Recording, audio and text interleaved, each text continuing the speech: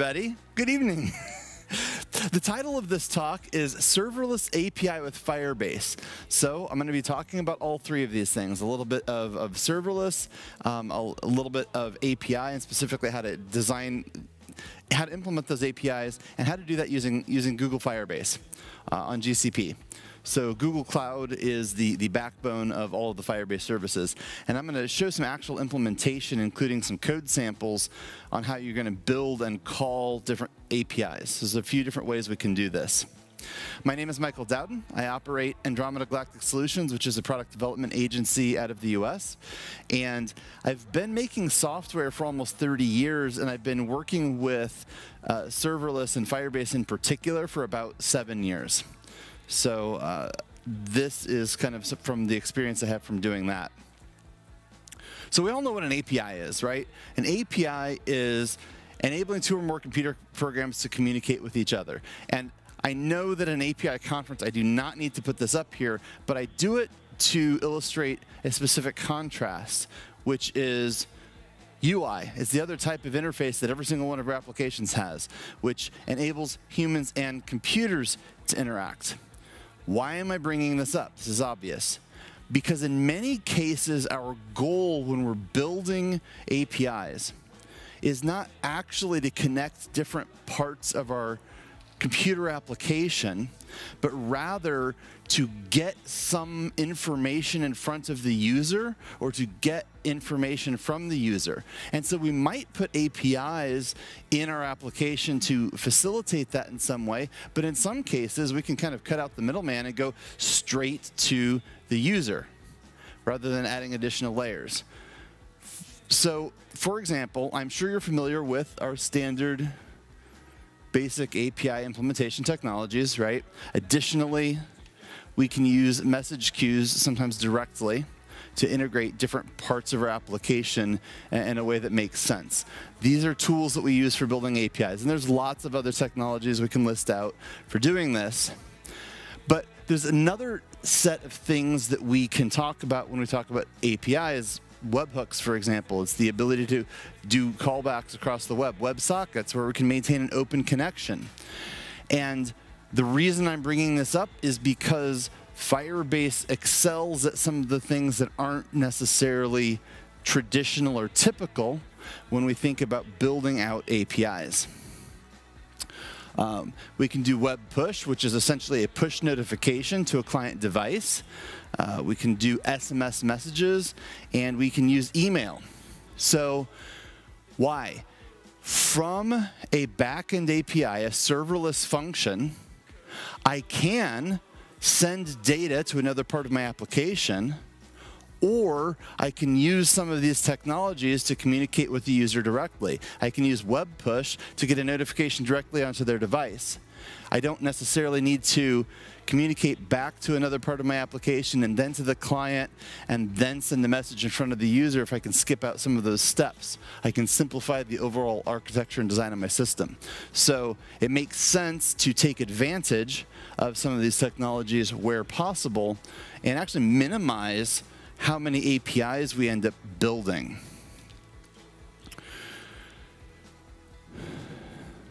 Oh, yeah. So third party services. That's another really important one. And I actually have a talk tomorrow where I'm going to talk about how to integrate with third party services using Zapier, coming from uh, serverless functions. But we're going to talk a little bit about how to use platforms like Zapier to do web integrations. So, how many of you have used Firebase or are familiar with Firebase? A little bit. Okay, we got one. Cool. Awesome. So in that case, let's have a quick rundown. Firebase is, a, is Google's backend as a service for serverless architecture. Uh, it makes writing and deploying web and mobile applications faster and easier, and also games.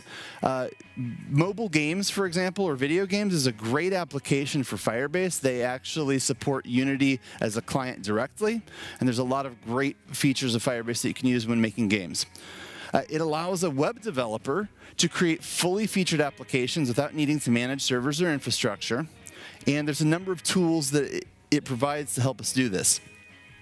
One of those tools is the web console, which we can log into the web console, manage our entire infrastructure, and one of the cool things about it is I can see exactly what services I have available, what services I'm consuming. I can see what my traffic and load looks like.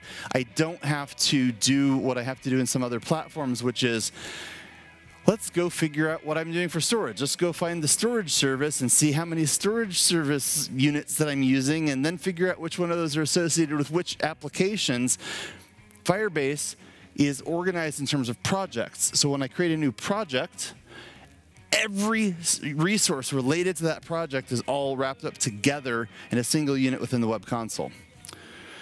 There's a command line interface, which is very nice for being able to manage and deploy and do a lot of different things with your projects. And very importantly, there is an SDK. They have client SDKs for web, for JavaScript, for a number of web frameworks like Angular and React and Vue.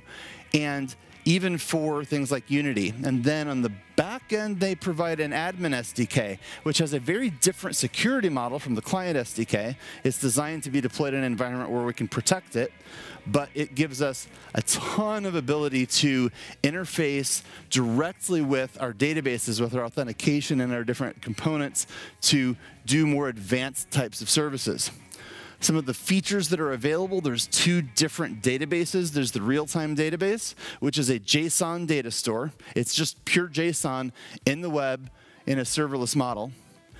And then we have the Cloud Firestore, which is a document database. We have collections and documents. And then we have hosting for your static files. We have the storage bucket for all of your assets that are going to be uploaded by users. You have authentication, which includes uh, email and password. It includes passwordless, but it also includes a lot of OpenID and OAuth type of integrations that are basically just a click away from turning on.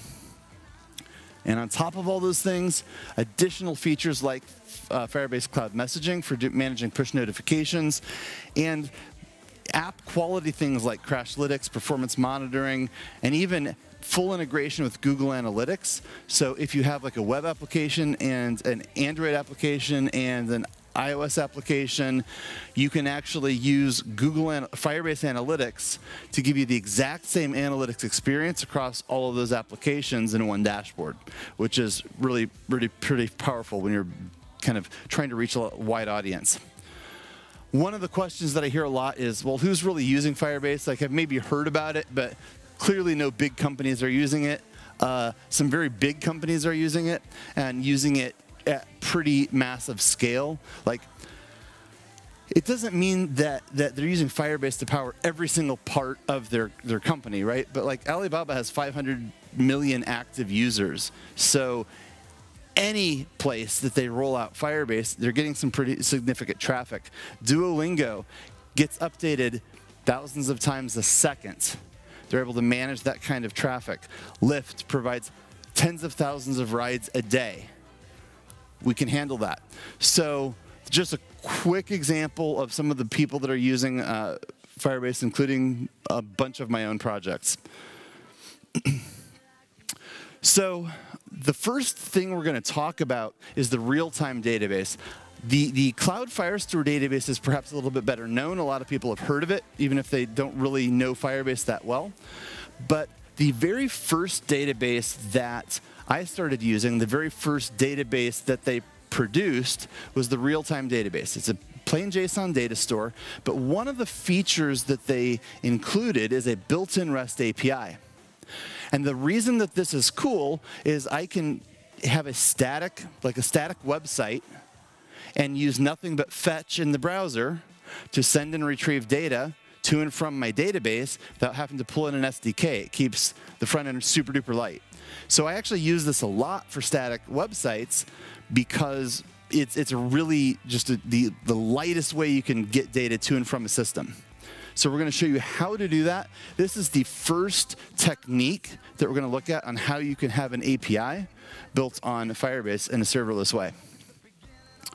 So in each case we look at, you're going to provide a path to a specific node in a JSON data data store. So the, the way that works, your data structure, you know what JSON looks like. You can basically treat that like a file system and go down all the way through to get to a certain point in the, the, the object. And from that point forward, you have addressed from that point forward, and that is the thing you're going to operate on. And now we can we can treat it like lists, we can treat it like objects, kind of interchangeably a little bit. So one of the function, the features we have is we can push to a list. That means I'm going to take an object and I'm going to push it to a specific location. It is going to automatically generate a brand new ID at that location and add an item. This is super powerful for things like a contact form or a, a newsletter subscription on a website, for example. We can create or update, replace existing data at a specific location. This would be an ID level location. We can read the data, obviously. We can update, which is preserve existing and just replace the fields that we do provide. And finally, we can delete. So we have all the basic CRUD opera operations we would expect, plus the ability to kind of add to the list. In order to do this, you're going to have to build a URL that looks a little bit like this. And it's not, it's kind of well documented, but this is a feature that's really not very well talked about or understood. So the first part of that, right in front of the Firebase IO, that is your Firebase project ID. So it's firebaseprojectid.firebaseio.com slash the place in my database I want to go to, .json. So essentially, I'm saying that there should be a top level object with an ID of users that I'm going to treat as a collection and I can maybe add things to it. In this case, I'm saying there is an object at that point that also has a specific ID, an ID of 123, and I can now interact at that level. Or I can use a URL that looks like this. I can even go into a specific property on that object and interact with that. So I could come in and I can create a brand new property on top of an object by mapping all the way directly to it inside of that URL. And I don't even have to manage the the whole object at once if I don't want to. So this gets to be a pretty granular way of interacting with data. And this is an API that we don't have to write. It already exists, and it exists and can be tied back to our database. So you probably know how to use fetch but it, sometimes it's helpful to look at a real example of how to interact with the system. And so that's the same URL we just looked at. We're going directly to not just a specific user object with ID 123, we're going to the name property and we're going to retrieve the name. Uh, I need to pass the application JSON because this, like so many of our REST services, does operate in JSON. And put in some error handling, and there we go. That is all we need to do to be able to read an object. And similarly, I can now push an object to a list. This is actually the construct that I use the most because it's a really convenient and simple way to write data from a form, from a website, in a way that I can retrieve it. And in just a second, I'm going to show you how we're going to secure that to make this make sense. But essentially, I can publish an object, build an object, and just insert it into that location. The important thing that I need to be able to do is that created on, that timestamp is really, really, really important because that gives me something that I can sort on so that I can interact with this data later. And to protect this API, there's a couple different things we need to do because what I don't want to have happen is for absolutely anybody to be able to come in and flood my database with stuff just because there's this public API sitting out there that absolutely anybody has access to. So there's a few things that I go through to protect my data. One of those things is a honeypot. Who's heard of a, a honeypot before? Cool, awesome. So we're just building this into the form so that if somebody tries to come into the form using an automated tool, it makes it a lot harder for that automated tool to successfully complete the form. It's not perfect, but statistically it has helped a lot with the amount of noise we get on our, uh, our public forms. The other big thing that we use is we will random have like a randomly generated password buried in the source code that is hard to locate and it's an HTTPS endpoint, so it's hard to spy on. And then I build that into the rules. So the way we secure the database is by writing a rule. The rules engine is also in JSON. I said it was a pure JSON data store. I mean, it is pure JSON, even the rules.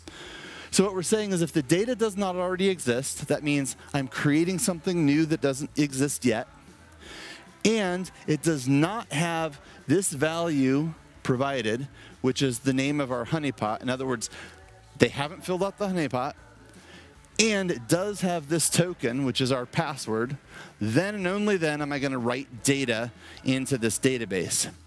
Again, it's not perfect, but that clears out 99% of the noise from having this public API. I've done it with like one little tiny rule here uh, a couple lines of fetch code in my JavaScript, and I have a fully functioning CRUD API that I did not have to put any effort into at all, other than a little bit of data modeling potentially. So this is one thing that I really love. I use this all the time. It is one way that we can get access to a fully serverless API using Firebase. But that's not the only way. We're talking about serverless. We're talking about APIs. We're used to deploying microservices and functions. We can have serverless functions. We can have cloud functions that provide API features as well. And so we're going to look at building an HTTPS endpoint using Firebase Cloud Functions, which also run in the Google Cloud, to, to do that for us. So here's a, a simple example. It's the onRequest function. It's basically the exact same type of thing you see in a lot of languages. You're going to have a request and a response object. You're going to be able to do things with them.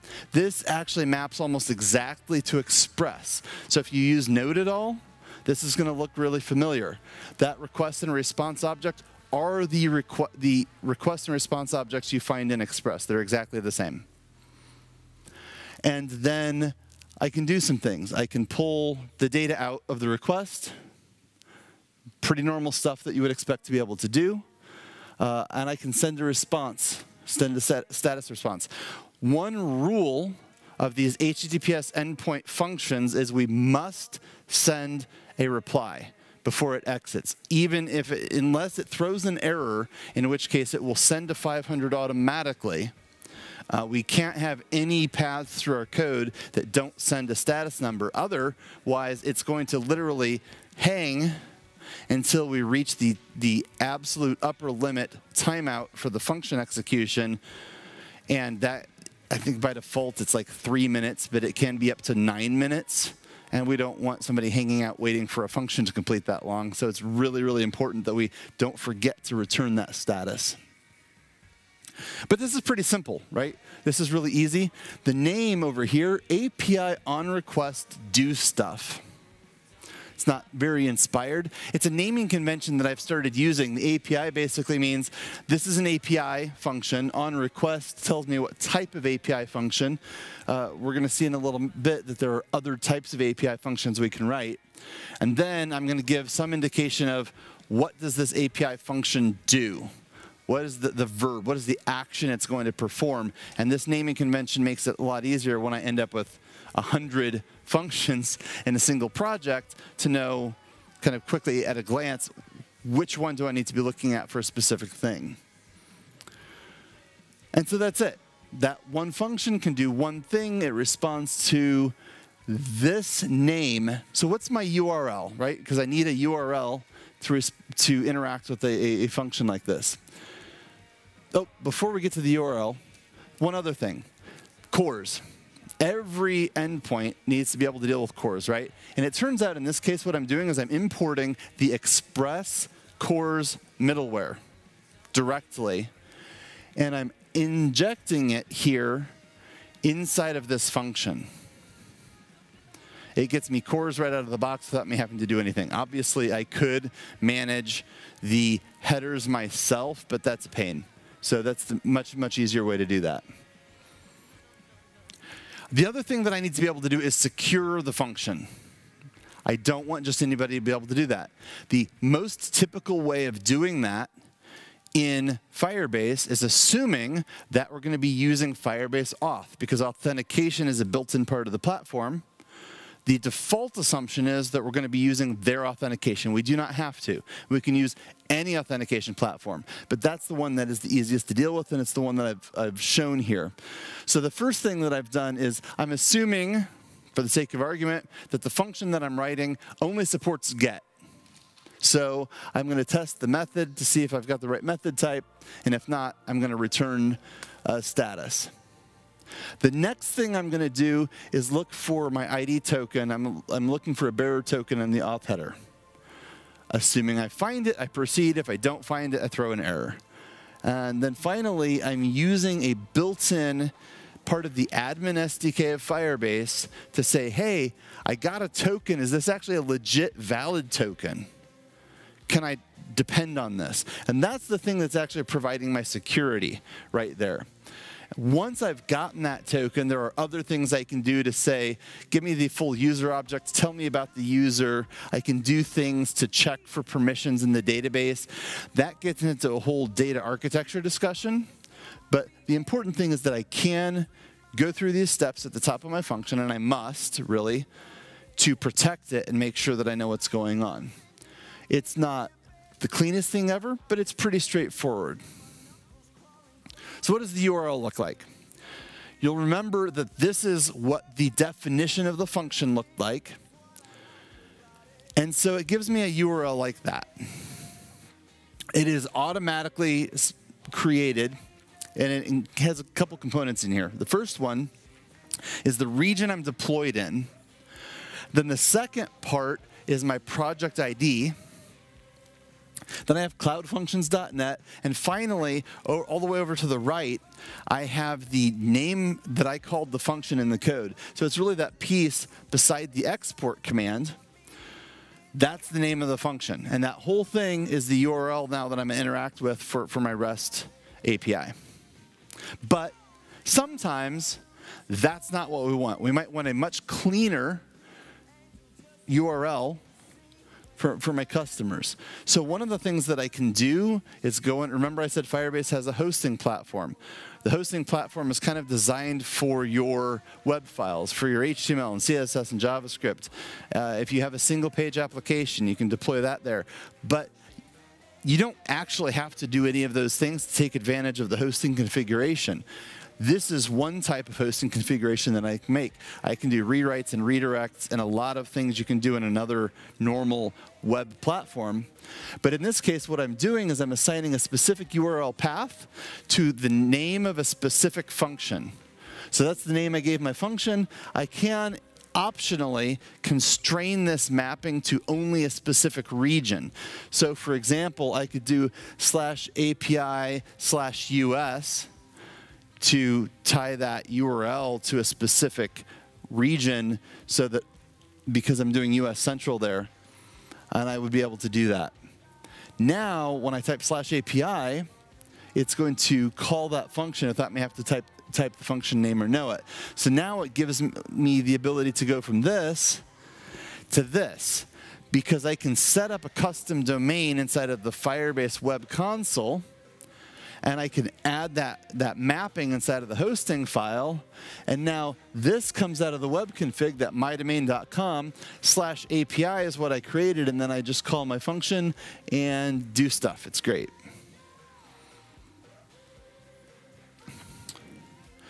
So speaking of multiple regions, one of the things we might want to be able to do is specify at the time we create the function inside of the source code what regions we want it to be able to deploy to.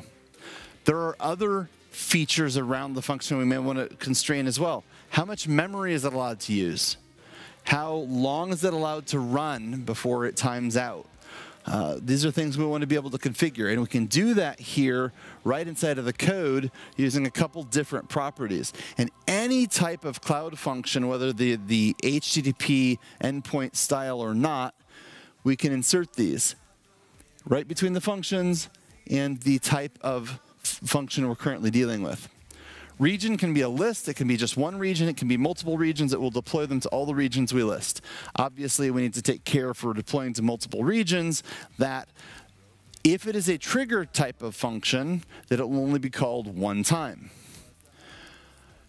Then run with, I can have a minimum number of instances.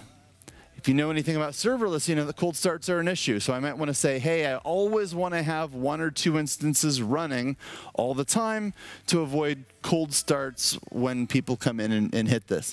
I may also want to set a maximum number of instances. There's a few reasons I might want to do that. If I have a function that is constrained by some external resource that I can't, I don't want to overload it. I might want to limit how many instances my function's allowed to have so I kind of limit the damage that I can do to a third-party service. But the other reason may simply be cost, right? If I can never run more than 20 instances at, at once, I have essentially given an upper limit to how much money I can spend on this function in a month. Timeout kind of works the same way. Sometimes we want to bump that timeout up because we have something that's really taking a lot longer to run than maybe we want it to. But sometimes we want to bump that down, especially if we have some really, really quick REST endpoints. If something were to happen and for some reason it gets stuck, it doesn't resolve, we forgot to send a status response like I mentioned earlier, we don't want it to hang out for five minutes waiting for a response. We might decide, hey, let's give this a timeout of five seconds because we know it's always going to complete in that period of time if it's if it's successful, and that way we're not stuck waiting around for any length of time.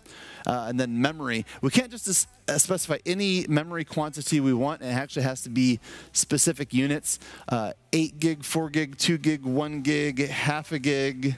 I think 256 megabytes uh, are the valid entries there, but we can scale that memory use up and down. It will affect our cost a little bit. Uh, mostly I don't worry about this too much unless I find that I'm running out of memory in a function. So that's great, but it was a little noisy. It was kind of a lot to set up. But I have shown that not only can we do the built-in REST endpoint on the the real-time database, we can use cloud functions to generate any kind of REST endpoint that we want. But it was a little tedious the way we did that. So let's use Express to do it instead.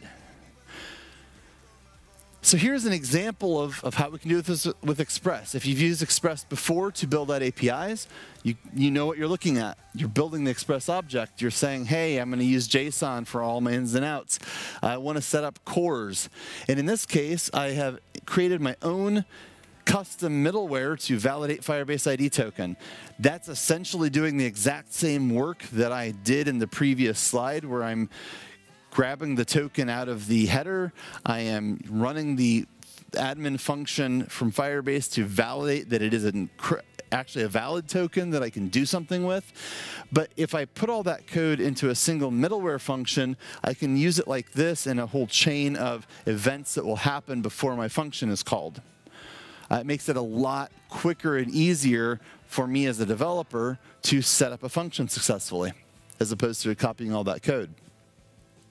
And then I can specify endpoints based upon what HTTP verbs I want to support. I want to be able to get, I want to be able to post. I can set these up as individual items. And when we get to the end of the day, I'm still going to call my function the same thing, but instead of providing a single function definition, I'm going to provide the entire Express app. And it will just consume that Express app and all its configurations, and it's going to assign all of that to that function. when it deploys, it's going to deploy as a single function. If we get a lot of traffic on any one of the different paths that we have set up as part of our Express object, it will scale those out. It doesn't matter if you use one or another, if everybody's getting or everybody's posting, doing a combination of the two, it's still going to scale out our functions and get advantage of the fact that it is, in fact, a serverless ecosystem. So as a reminder, here's the, the hosting configuration that we set up that maps the API to the do stuff function.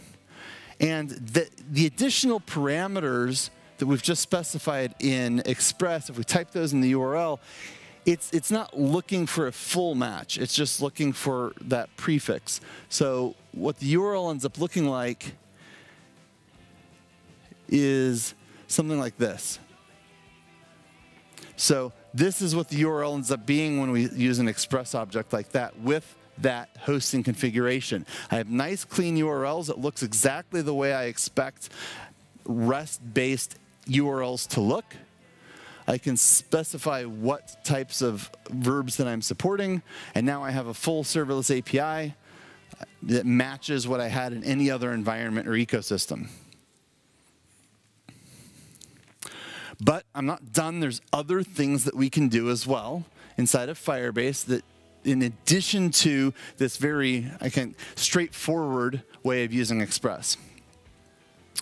So we can simply rebuild our microservice architecture with serverless architecture, right? That's what we just walked through. Essentially, any microservices, HTTP responses and requests, I can rebuild in a serverless ecosystem. But why would we just do REST when our data doesn't just sit around? We always have things happening. We have events happening inside of our system, right? We might use ETLs or other tools to propagate changes. There's nothing wrong about that. But I, I think, uh, I don't want to think about batch processes and whatever. I think about real-time interactions with events. I think about this when I think serverless.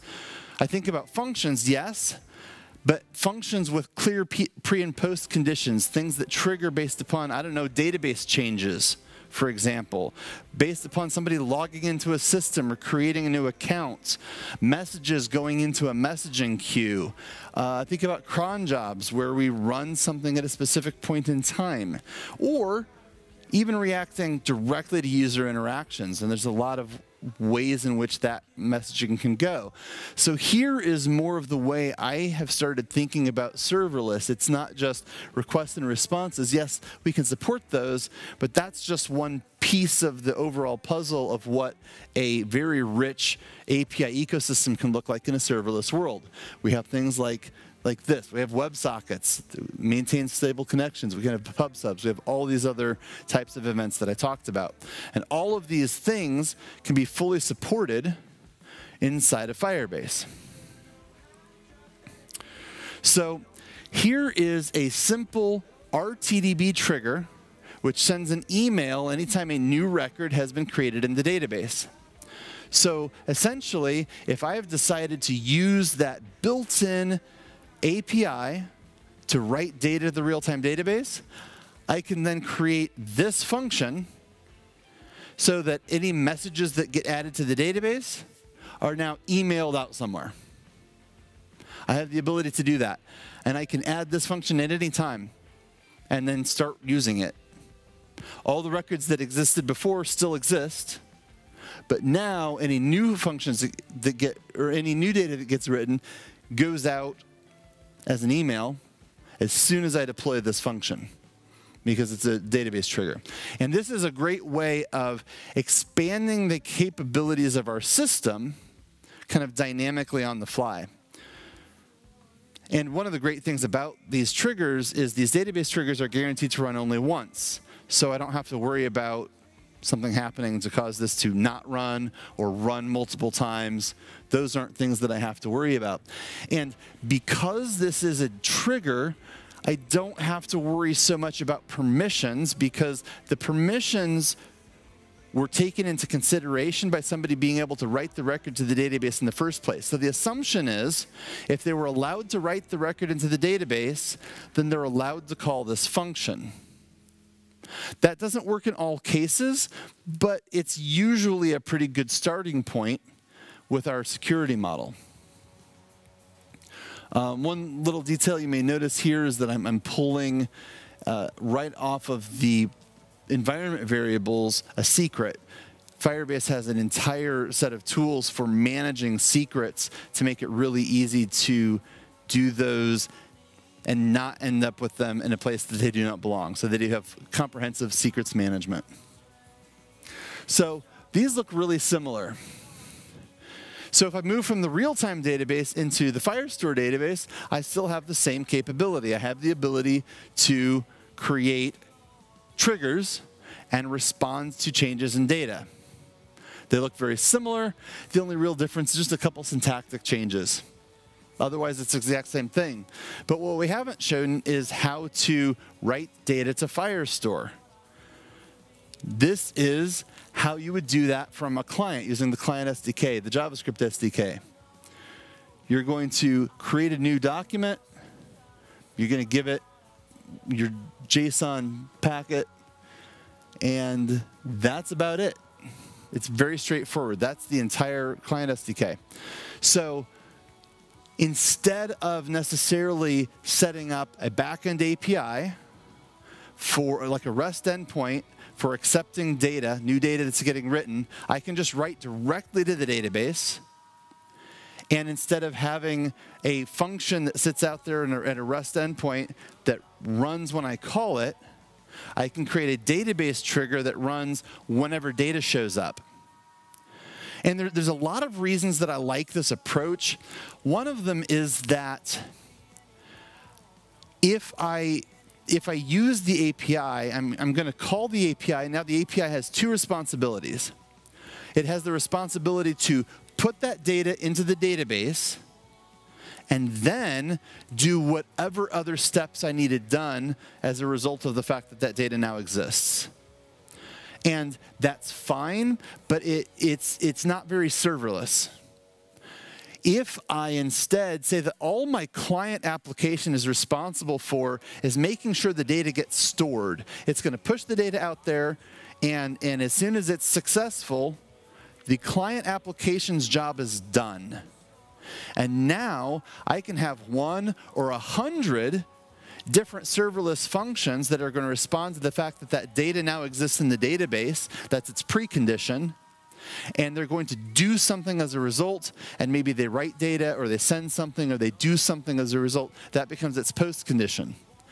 And I can have one, I can have a hundred, it doesn't matter. They can be separate. And now I have a system where I have little tiny units of work that can happen completely independently from each other. And so if I decide that one of those activities I no longer want to have happen, I just delete that function. I don't even have to delete any code. I just undeploy the function that was doing that work and it won't happen anymore. And it's a, just a very different way of thinking about kind of managing our systems a little bit, but it's a very serverless way of thinking about how to break up problems and break things down in a way that is very easy for us to manage. It's very easy from a development standpoint and a DevOps standpoint. It's very good for for scaling, but it does require us to kind of rethink how we approach problems. So this data first approach is something that I really like. But just like we saw with the real-time database, we need to be able to protect these th this data. And so this is the standard security language for Firebase. Every Firebase product that has a, has a security rules component uses this syntax, except for the real-time database, which uses the JSON syntax.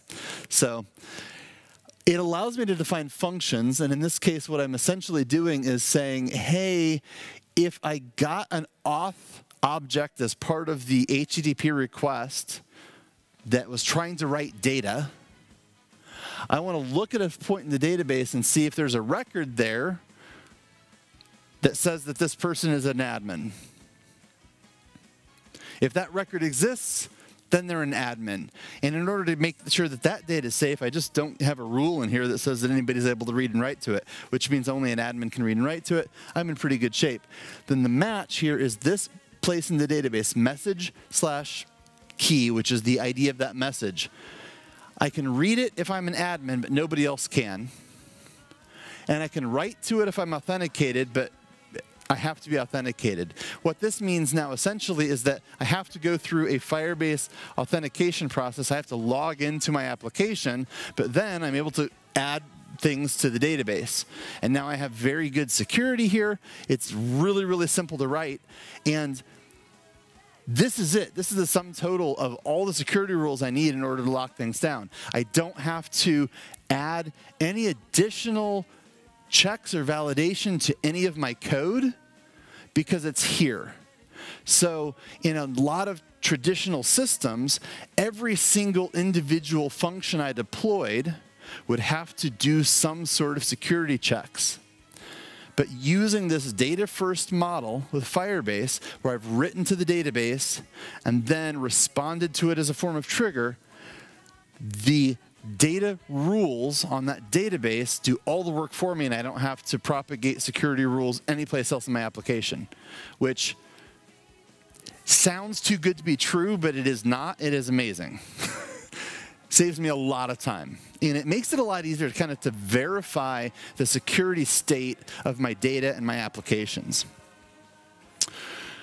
But of course, I promised a different way of doing an HTTPS REST endpoint and it's this, it's the on-call function. So similar to what we did before, where we did functions.https, previously we did on request, now we're doing on call. The parameters are a little bit different. It's not giving you a request and a response like we would expect in an express style of configuration. Ha you have data and context. Data is the JSON object representing all of the parameters that were passed into a function call, this function call. And the context is anything about the environment that I need to know. So if I'm going to use this to accept a message, the data is simply going to be a message object, and I can reference it directly. Context.auth contains my user object. It has everything that I need about my user. And at this point in time, I have a valid user object, but I don't know if there's actually any data in it. The only security check that I have to perform is, hey, does it have a UID? Yes or no? There are some a couple other properties that I could check.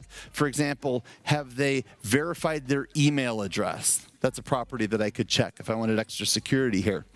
But it's the exact same property checking system that we use in the database rules. It's just that I have to do it here in code because it's an endpoint. All of the extra work that I had to do in the on request, where I had to actually look in the header, strip out the bearer token, then call a whole nother function to figure out, hey, is this actually a valid bearer token? Can you please give me the user ID? All that work has already been done by Firebase on the on-call definition of the function. All I have to do is say, hey, do I have a user? If not, or if so, go ahead and send that message. And similar to on request, we still have to send a status back. But that's it. The way we call this, though, is very different. You can call this using fetch and curl and any other HTTP endpoints there's a very specific structure to the way uh, these APIs get built. There's a lot of great documentation on that if you're interested. But the way we're typically going to do this is using the Firebase, Firebase SDK. And we're simply going to grab a couple cool things and say I've got a class, a message handling class.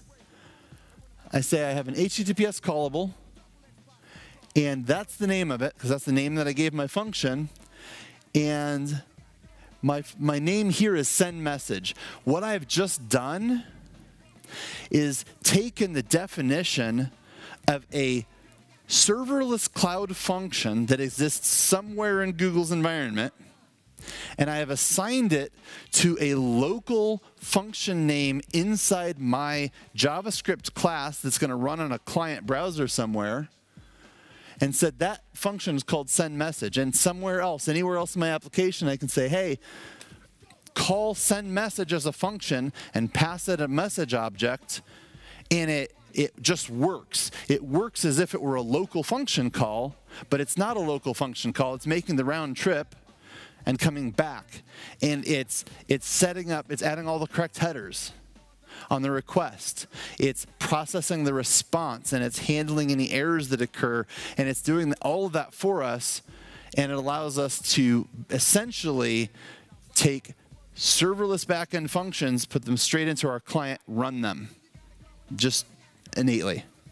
So that's a super cool way. It's a little bit more, it's not quite as lightweight because you do have to pull in the SDK, but the SDK has fantastic tree shaking. So it's really not very heavy to do this. So the different ways we've looked at to build out serverless APIs with Firebase, you can use the RTDB API that's built in, no work for us to do other than maybe a couple security rules. We have the, the basic function, which is pretty straightforward, but it's a little bit of manual labor to do the security model on it.